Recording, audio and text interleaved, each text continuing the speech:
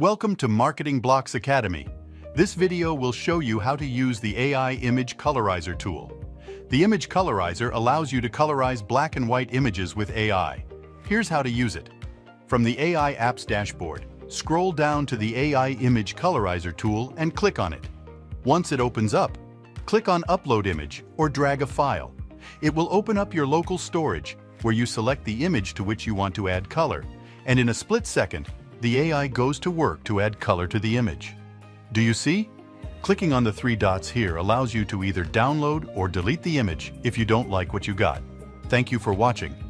If you have any questions, please feel free to use the chat widget at the bottom right corner of this page or email us via support at marketingblocks.ai and be sure to hear back from us. Cheers!